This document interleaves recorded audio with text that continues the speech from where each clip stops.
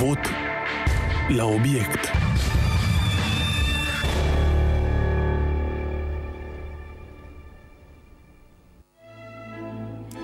Bună ziua, doamnelor și domnilor, bun găsit uh, la o ediție, o nouă ediție uh, de uh, promovare electorală. Ana Maria Eng sunt eu, iar alături de mine astăzi în studioul Radio Accent este domnul Marius Mănescu, membru al ALDE Gorj. Bună ziua, bine ați venit! Bună ziua, mulțumesc pentru invitație! Uh, pentru început, uh, am, aș vrea să discutăm un pic despre uh, pătrunderea dumneavoastră în uh, lumea în politică. Știu că nu sunteți foarte, un membru foarte vechi al, al, al de Gorj. Nu, cred că am două luni. Două luni de zile în politică, adică nici în picioare nu mergeți, ca să spun așa, cum, cum sunt copiii. Uh, ce v-a determinat să, să faceți parte din lumea politică? O lume destul de, de grea și o lume în care e destul de greu să, să faci Mai ales față. în Gorj. Asta, mai ales în Gorj. Asta, mai ales în Gorj, unde controversele sunt, uh, sunt foarte multe. În primul rând uh, am luat această decizie care, sincer vă spun, am mai spus-o și o repet, nu mă gândeam vreodată că voi intra în rândul unui partid politic, să fac politică. Am luat această decizie datorită faptului că am avut o discuție cu președintele ALDE, domnul Iordache. Mi-a vorbit despre proiectul pe care l-a inițiat, despre echipa cu care vrea să ducă la îndeplinire acest proiect și m-a convins, cunoscându-l din vremea când el era primar la Turceni, și percepându-l ca un alt tip de primar, un tip mai pragmatic, bine pregătit, care ori de câte ori își propunea ceva, se implica și ducea la bun sfârșit ceea ce își propune. Și de asemenea, această echipă de tineri care, nu știu dacă dintre ei au mai făcut politică, e o atmosferă, cred, altfel decât într-un partid la ALDE în prezent. Și cred că din interiorul unui partid, având o experiență în administrație, zic eu, de 1996, de 20 și ceva de ani, din care aproape 13 de director la oficiul de cadastru și publicitate imobiliară, dintr-un partid politic te poți face mai bine auzit. Eu nu sunt adeptul unor mesaje electorale sau al vorbelor. Cred că fiecare dintre noi, acolo unde suntem, trebuie să facem ceva în slujba uh, comunității, în slujba oamenilor. Și am avut o experiență nu tocmai plăcută când lucrurile efectiv au luat o întorsătură uh, pentru mine necorespunzătoare, am fost înlocuit din funcția de director și am considerat că și lucrul acesta, ca membru într-un partid politic, să mă fac mai bine, mai bine auzit.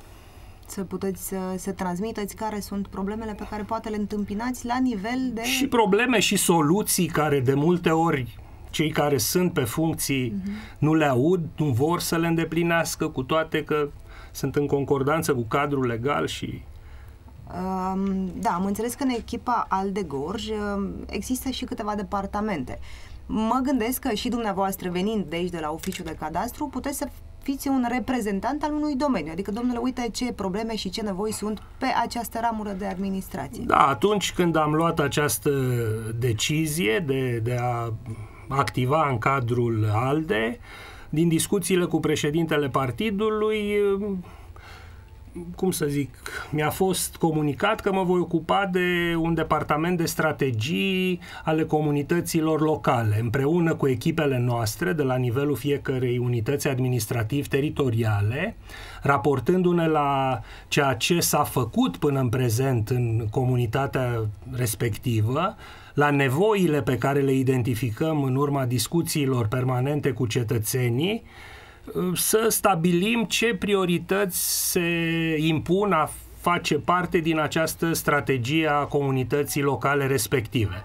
Și astfel echipa noastră, cei care vor candida în viitor la primăriile respective, la funcțiile de consilier local, să aibă deja un plan de măsuri bine stabilit, în concordanță, repet din nou, cu nevoile uh, cetățenilor din unitatea administrativ-teritorială respectivă, în momentul în care vor câștiga primăriile, să poată să înceapă punerea în aplicare a acestor proiecte.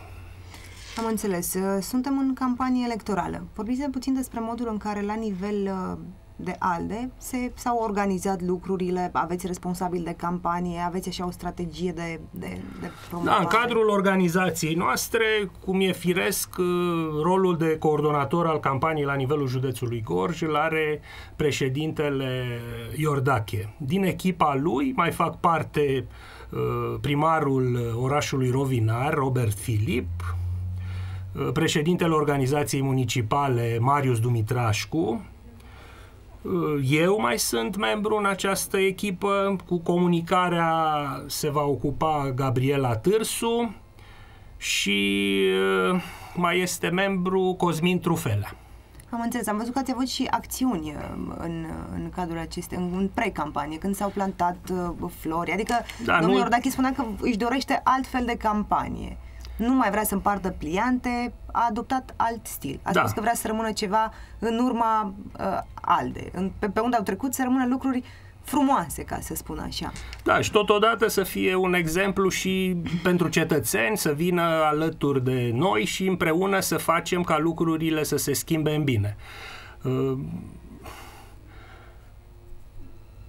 Referitor la, la campanie, m-ați întrebat, da. Uh, am pierdut firul. Da, uh, vă întrebam de modul în care este organizată campania electorală la acest moment, la nivelul uh, ALDE. Mi-ați deci noi am început membrii. în urmă cu vreo două luni aceste acțiuni în mai multe orașe din județul Gorj, aici în Târgu Jiu, la Motru, la Rovinar, la Turceni, precum și în alte comune, prin așa cum s-a mediatizat, prin a planta flori, prin a frumuseța Da, acele anumite... au fost niște pe care da. le-ați făcut efectiv pentru că e prima oară și, mă rog, era un moment în Înainte care de se... sărbătorile da, de da, Paști, da, am făcut o acțiune și în cimitirul eroilor. În continuare, și în această perioadă avem uh, întâlniri cu cetățenii, cum de altfel și înainte de demararea campaniei electorale am procedat. Am fost uh, în mai multe comune împreună cu echipa noastră, am purtat, așa cum am zis, discuții cu cetățenii și vom continua în acest fel pe toată durata uh, efectuării acestei campanii. Ne dorim o campanie civilizată, fără certuri și scandaluri. Absolut, o campanie din care oamenii se poate să înțeleagă ceva, să nu vadă doar circ la televizor și să audă pe stradă că ne înjurăm unii pe ceilalți ca oameni politici ce suntem și atât. Pentru că oamenii au nevoie de, eu știu, de, de altceva, pentru că până acum s-a tot de fapte, cred, de fapte, da, că vorbe și promisiuni exact. în permanență au fost, unele, cele mai multe, de cele mai multe ori au rămas uh, neonorate. Așa este, iar oamenii s-au, s-au obișnuit cu acest lucru și evită, evită. Deci în campaniile electorale oamenii pe stradă, dacă văd că cineva vine să le ofere un fluturaj sau un pliant, evită de cel mai multe ori. Pentru da, că există se... o exact, reținere. Exact, exact. S-au promis foarte multe lucruri și nu s-au prea realizat și atunci uh, oamenii sunt reticenți, ca să spun așa. Uh, spuneți puțin despre elaborarea unei strategii. Dacă aveți o strategie de dezvoltare uh, locală la ALDE, faceți parte din echipă, aveți deja două luni, bănuiesc că ați stat la discuții discuții cu, cu membrii da, organizației. Da, exact cum v-am spus mai devreme. Ne dorim ca în fiecare... Înțeleg că fiecare domeniu, sănătate, învățământ, administrație publică... Există un există... departament în mhm. cadrul partidului și referitor la aceste strategii de dezvoltare, cum vă spuneam mai devreme, uh, chiar eu coordonez acest departament. Mergeți în teren să culegeți informații de la Sigur, oameni? da, dar v-am zis, sunt uh, la început și probabil uh, activitățile astea se vor intensifica imediat după aceste alegeri europarlamentare. Dar am fost în teritoriu, am avut discuții în organizațiile locale, o parte dintre ele, și lucrurile chiar o să se întâmple. V-am spus mai devreme, uh, în funcție de nevoile fiecare. Dar dacă, dacă oamenii au o problemă, pot veni la dumneavoastră, la ALDE, să se adreseze, eu știu, au o problemă legată de sănătate, vin la dumneavoastră, se pot adresa departamentului... Cu certitudine, în limita uh, puterilor pe care le avem, preluăm acea problemă și găsim o soluție. Deci, iată, există o, o, o păi, modalitate de a interacționa cetățenii cu cetățenii. trebuie ascultați și găsite soluții la problemele acestora. Am înțeles. Um, Referitor la județul Gorj, pentru că înțeleg că v-ați dus în județ și ați, ați interacționat deja cu oameni, ați văzut și infrastructura. Mă gândesc că Da, știți și dinainte de a face parte din, din politică faptul că avem destul de multe probleme. Nu neapărat la nivel de județul Gorj, cât și la nivel de țară. Avem probleme de infrastructură. Sunt foarte multe nevoi la acest capitol. Din păcate, în județul Gorj, în permanență s-a adoptat o soluție de a cârpi, așa, într-un termen nu tocmai Așa se, așa se procedează și... Probabil e o sursă de a cheltui niște bani publici într-un mod mult mai ușor. Cred că infrastructura unui județ, așa cum de altfel vedem că se întâmplă în Ardeal, trebuie făcută trainic, trebuie făcută de calitate, cu, cu firme... Am avut probleme acum, nu cred că este mai mult de o săptămână, de când se lucra la un pod, s-a desprins o parte din pod și a căzut peste Da, peste la Stoina parcă da, s-a... Da, da. Pentru că... Adică, iată, avem în continuare probleme. Sunt probleme destul de mari. Aveți, uh, bănuiesc și, eu știu, vreo soluție? V-ați, v-ați dezvo- ați pus așa la cale un plan cum să atacați această problemă a județului Gorj la nivel de organizație? Soluții sunt. E necesar, așa cum v-am zis, uh, efectuarea acestor lucrări să fie de calitate, să fie făcute uh, de profesioniști, fără a fără să cârpim și să ne batem joc. Practic asta, asta e cel mai important. Să ne dăm seama că dacă nu avem infrastructură e foarte greu să avem și turism, e foarte greu Potențialul să avem... Potențialul nostru al județului Gorj este, este unul foarte mare. Unul foarte mare. Da. Din păcate nu-l, nu-l punem, nu-l valorificăm.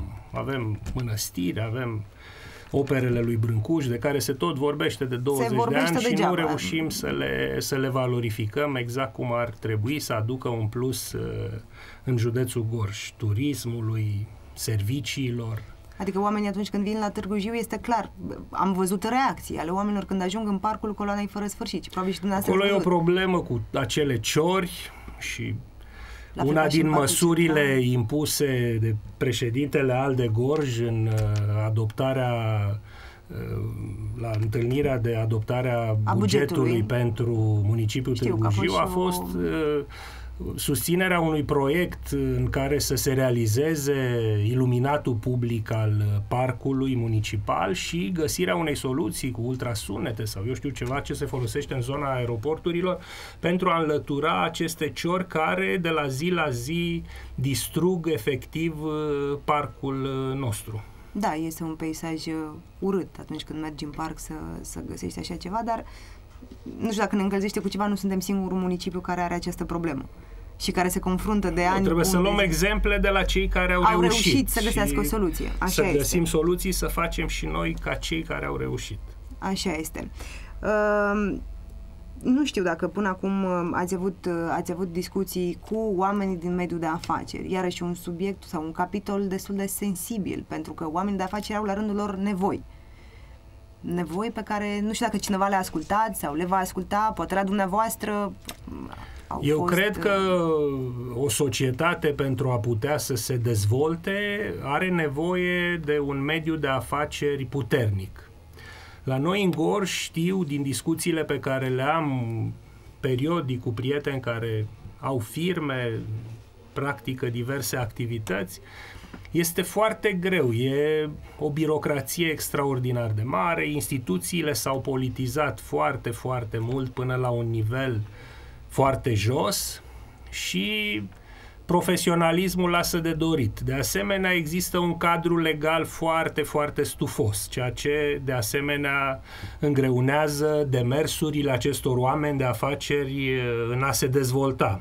Am un prieten care chiar îmi povestea că își mută firma, are o firmă de producție, își mută firma undeva pe, pe centură ocolitoare, construiește acum o hală mare acolo, datorită faptului că s-a dezvoltat foarte mult în ultimii ani și a necesitat obținerea celor autorizații, avize, undeva la 6-7 luni. Așa se întâmplă, da, din păcate. Da, știu din activitatea mea că nu, acest lucru nu se întâmplă când un astfel de investitor care vine în Gorj este străin. Atunci toate autoritățile nu știu cum se face, fac ca demersurile să se desfășoare la foc automat și respectivul să poată în 6-7 luni efectiv să aibă investiția cam gata. Și cei locali, investitorii locali, oamenii de afaceri locale, așa cum am zis, care sunt motorul societății noastre, trebuie sprijiniți, trebuie ajutați, trebuie găsite soluții ca ei să poată să se dezvolte, să creeze locuri de muncă, o altă problemă pe care ei o au, știu, din discuțiile purtate cu ei, este uh, lipsa forței de muncă calificate și aici cred că e necesar ca școala noastră să termine cu această reformă permanentă și, în opinia mea, s-ar putea da un restart al sistemului de învățământ la anul 1989, când atunci lucrurile erau foarte, foarte bine structurate, iar uh, absolvenții învățământului românesc erau foarte bine pregătiți și în domenii pur teoretice și în domenii practice. Mă exact. refer la absolvenții de licee industriale, de școli, școli profesionale. profesionale da.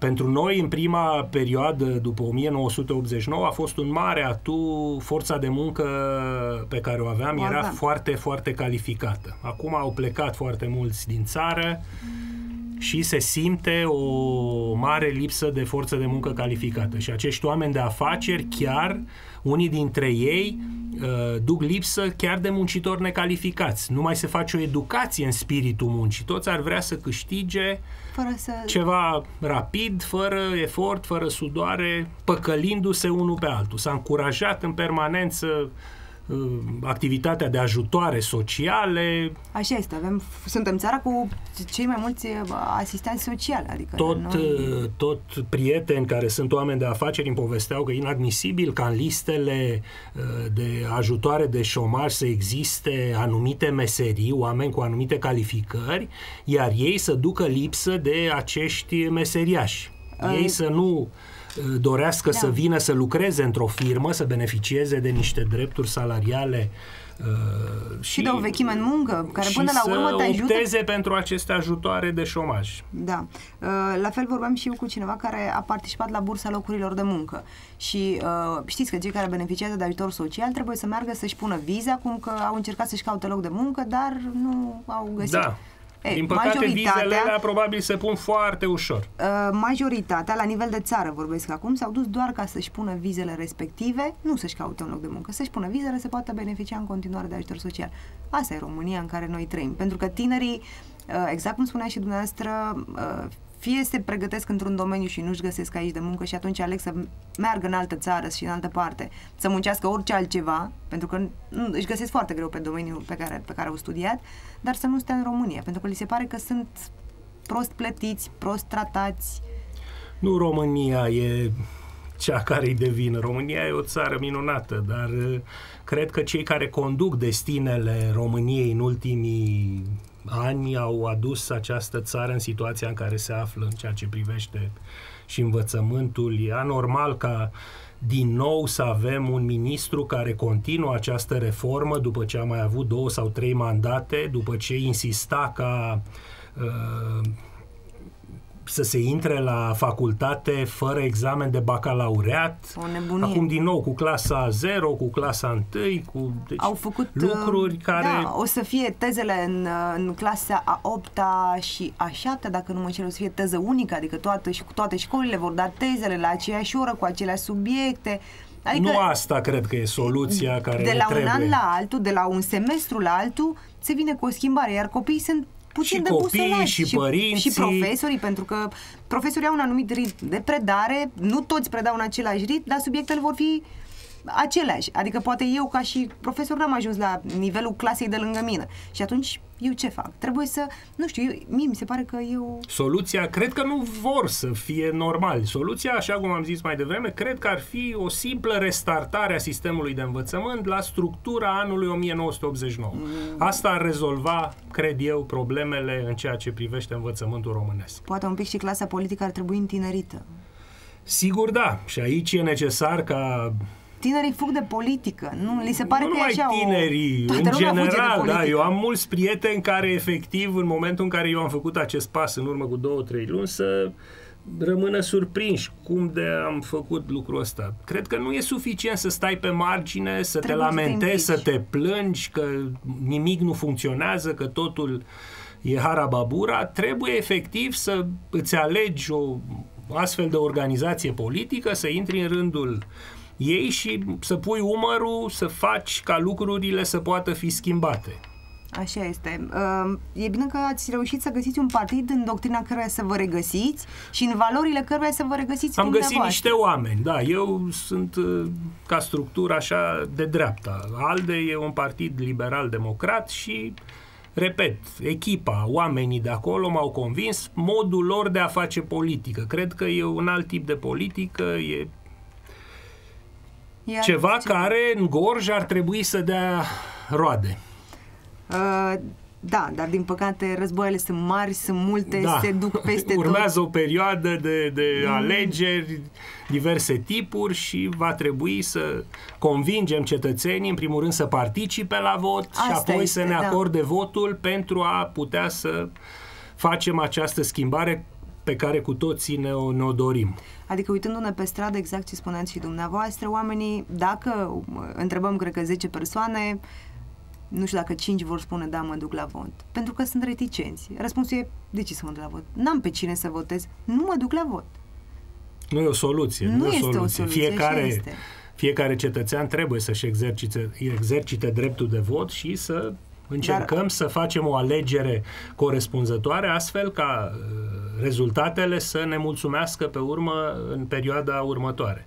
Da, e, e foarte greu pentru că oamenii, exact cum spuneam, sunt dezamăgiți, vin din urmă cu foarte multe, uh, eu știu, probleme probleme, dezamăgiri uh, din partea clasei politice și atunci, bine, mai sunt și cazurile când oamenii se duc la vot și nu, nu știu de ce. Adică, Da, un vot nu știu ce- neinformat Asta spun e o că problemă. E foarte important ca și partidele politice să meargă, eu cred, nu pe Facebook, nu neapărat. Sunt oameni care se ascultă radio, se uită la televizor, dar în stradă, acolo, lângă om, ca să explici omului, domnule, ăștia suntem Tineretul, noi. în opinia mea, cred că are un rol determinant în a schimba ceva în societatea românească. Ei trebuie să-și convingă părinții, bunicii, să informeze despre realitățile uh, reale, cum ar veni vorba, și uh, să-i uh, convingă că uh, împreună trebuie să meargă la vot. A fost ieri uh, în mediul online acel videoclip uh, Mircea, parcă îl cheamă pe tipul Cu care... bunica. Cu bunica, extraordinar, Da. adică un exemplu de tipul respectiv trebuie să ne dea tuturor de gândit și să ne determine că trebuie să avem uh, o opțiune.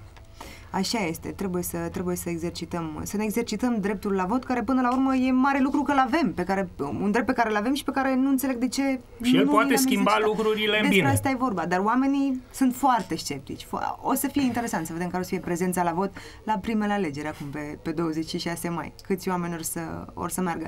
De Sperăm obicei, într-o participare numeroasă. de obicei se duc uh, cei mai mulți din mediul rural și asta pentru că sunt mai conștiincioși. Nu neapărat sunt mai conștiincioși, acolo primarii au anumite mijloace de a-i sprijini să ajungă la secțiile de votare, cred eu, și astfel uh, procentele de participare în Cresc. mediul uh, rural cresc, da.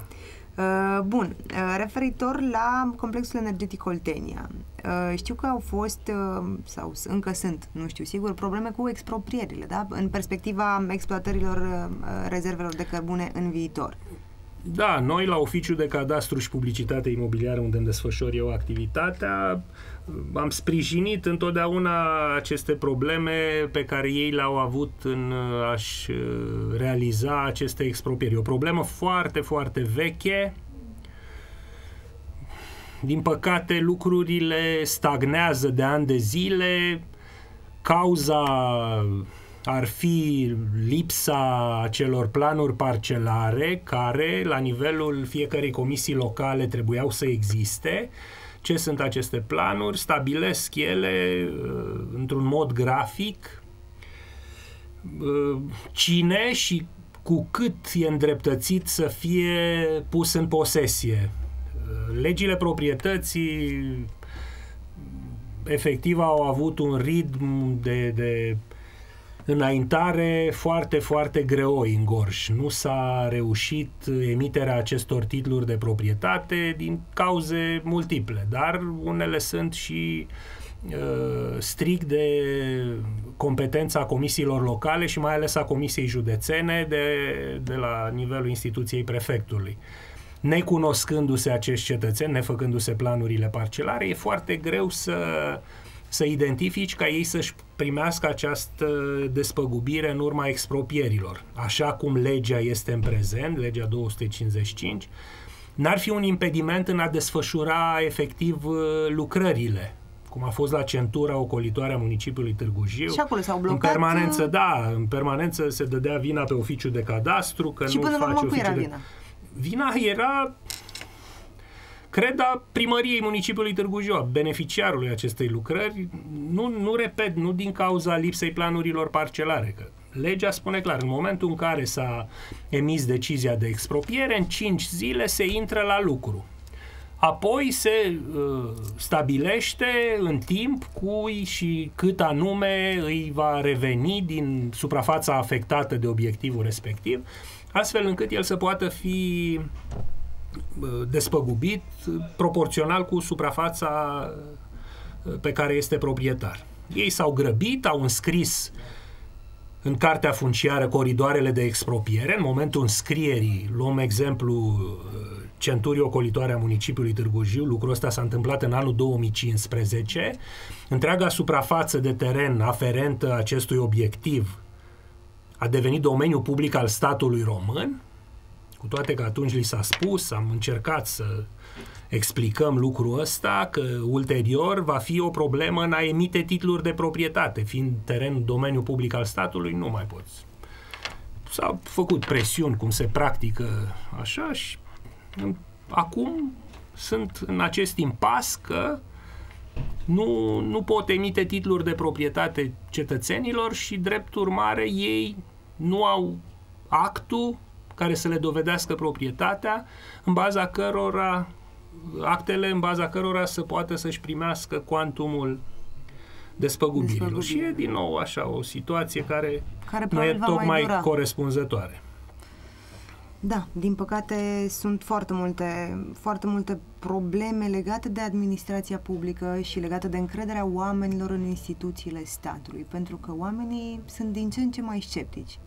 Administrația publică, în opinia mea, am spus-o și la începutul emisiunii, cred că a fost aici în Gorj foarte, foarte mult politizată. S-a mers prea jos cu aceste numiri doar pe criterii politice.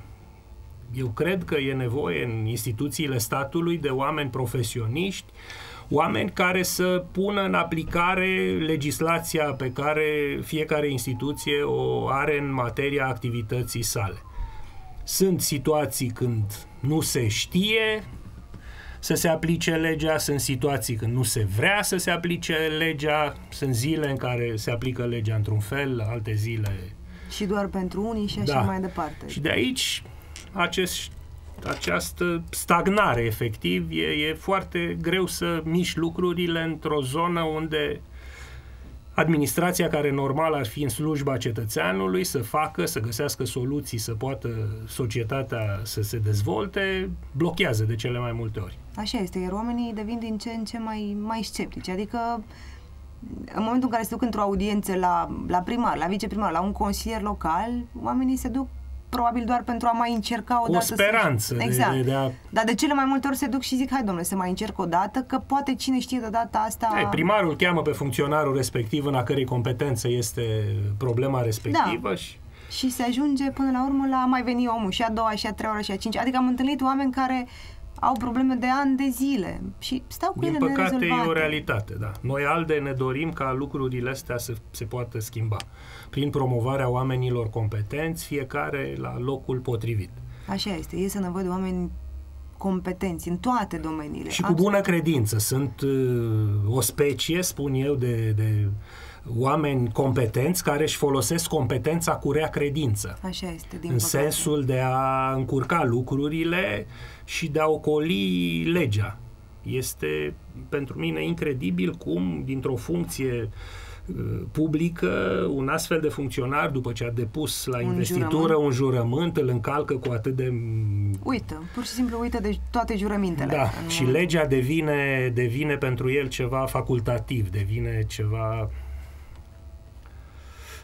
Da, sunt, uh, sunt foarte multe probleme la nivel și nu doar, la, și la nivel de, de, de sănătate, dacă stăm să le luăm așa. Adică a fost o vizită uh, a uh, Ministrului Da, prin Sănătății. spitale, da. da. A fost o vizită în urma căreia s-a spus că va fi retrasă acreditarea, a ieșit președintele Consiliului Județean Din a nou, spus că- politic, o abordare Și vedeam ieri o filmare realizată în cadrul Spitalului Județean din Târgu Jiu, în cadrul care nu pot să vă spun pentru că suntem la radio ce se vedea pe scările spitalului, da, erau fecale, efectiv pe holuri. E normal așa ceva? Eu vă întreb. E păcat Suntem că oameni se întâmplă... cu toții, adică te duci cu un, cu un copil, ca să, să- ca să ajungi la secția de pediatrie, am înțeles că trebuia să treci exact prin acea zonă. Și atunci cum să treci cu un copil și cum să se întâmple, cum să se permită așa ceva? Iar conducerea Spitalului Județean de Urgență din Târgu Jiu stă.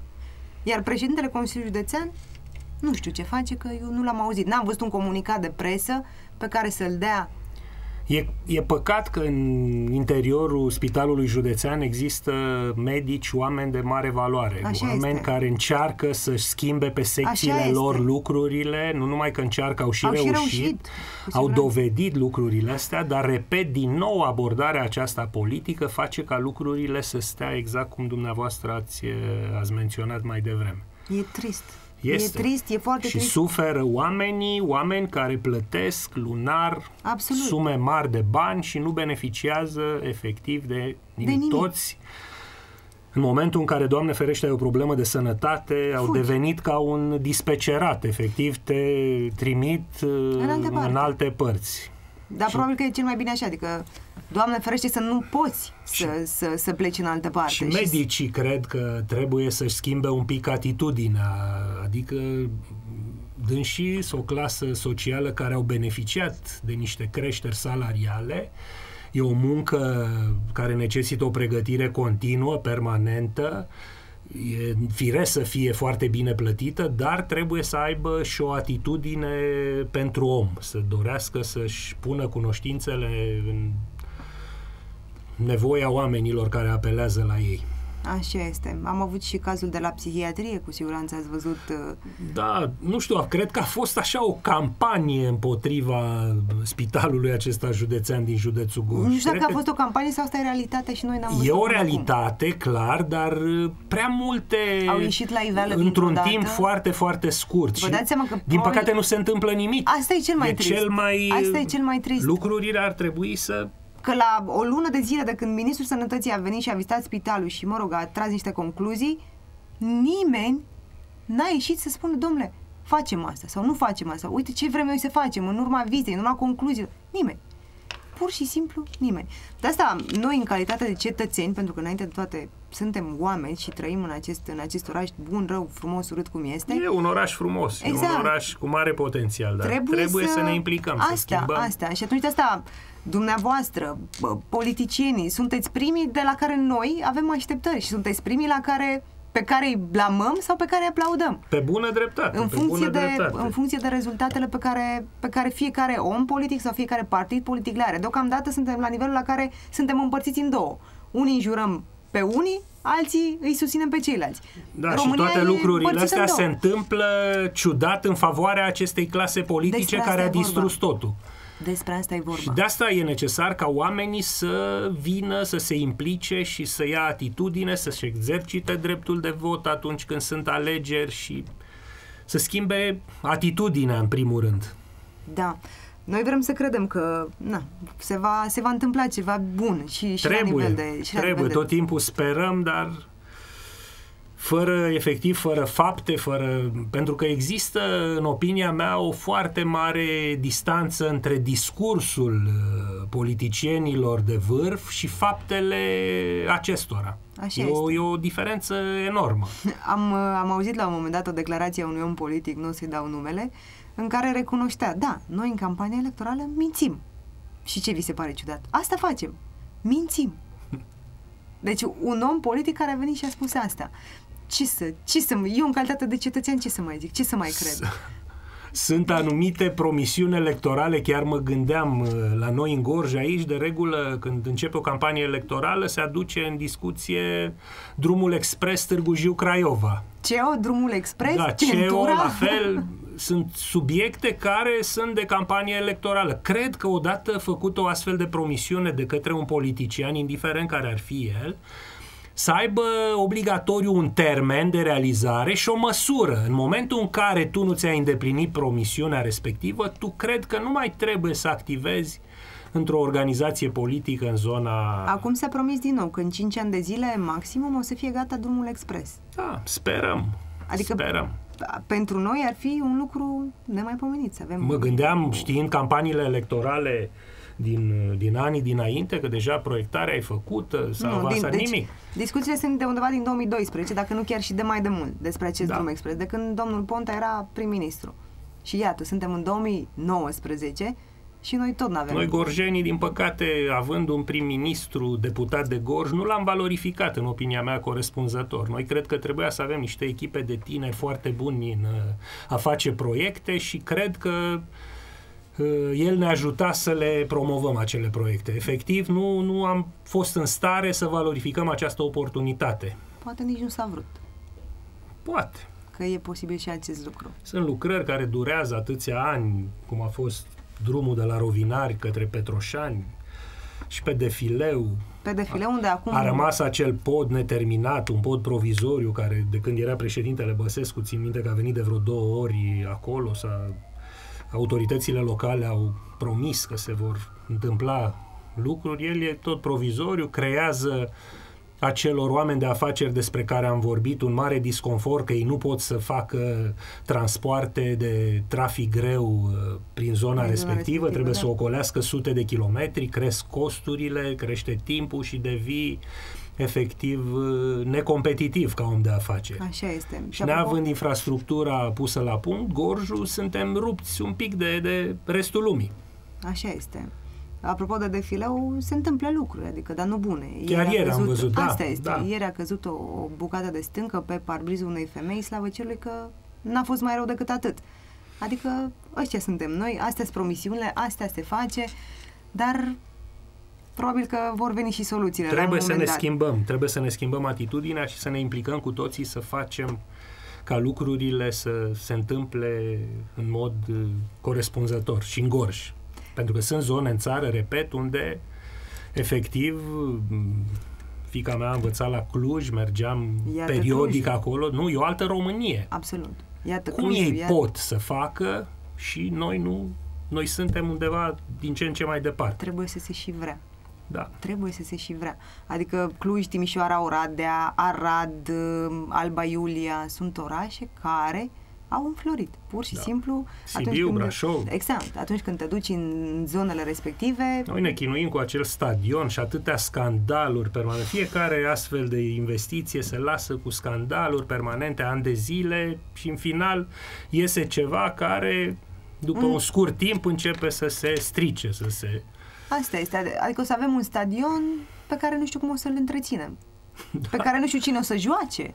Am înțeles că s-au purtat discuții cu cei de la FCSB și că o să vină, Da. o să vină la Târgu Jiu. Ar fi bine, Ar pentru fi. gorjeni ei sunt iubitori de fotbal, am avut o echipă și este, dar nu mai e ce a fost Pandurii Târgu Jiu, care a atins un nivel de performanță în anii de dinainte foarte ridicat. Ne mândream, ne mândream cu fotbal, ne Cred mândream eu că cu tot basket. factorul politic a distrus și echipa de fotbal la vremea respectivă, chiar și echipa de, de basket, energia care crea în sală o atmosferă Și aveam o sală extraordinară. mult mai mică și Da. mult mai ne la standarde europene, ca să zic așa. Multe domenii cred că n-ar trebui să fie în apanajul politicii și lucrurile ar fi extraordinar de bine acolo. Dacă cineva ar înțelege că, Nu, domnule, să-i lase să-și facă treaba pe Exact, profesioniști. exact. Pe Politica profesioniștii e una domeniului, și, Da. Ei bă, să facă ce trebuie să facă politicienii. am înțeles. Uh, Bun, ne apropiem de final. Uh, noi așteptăm din partea tuturor, nu neapărat din partea dumneavoastră al de Gorj, uh, să se întâmple ceva la nivelul, uh, la nivelul județului. Dacă dumneavoastră ați decis să faceți parte din politică, o să ne mai întâlnim da. din când în Sigur, când. Sigur, și... încă nu, nu sunt confortabile astfel de emisiuni politice. Nu am încă experiența necesară. Sper că în timp voi dobândi aptitudinile respective siguranță. necesare. Cu și... siguranță. Veți fi forțat de împrejurări și da, dacă nu vreți. Dar, repet, îmi doresc ca uh, lucrurile să se întâmple, adică între promisiuni și fapte să nu fie diferențe. Așa să fie cum, cum spuneți dumneavoastră. Eu vă mulțumesc pentru că ați, ați venit la emisiune la Radio Accent. Doamnelor și domnilor, acesta a fost ediția de astăzi. Eu sunt Ana Maria, toate cele bune.